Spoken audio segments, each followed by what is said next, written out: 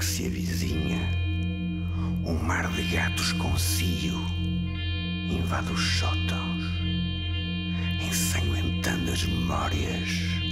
com a dor pungente dos dias em que o gume, o terrível gume das horas afiadas, rasgava o espírito.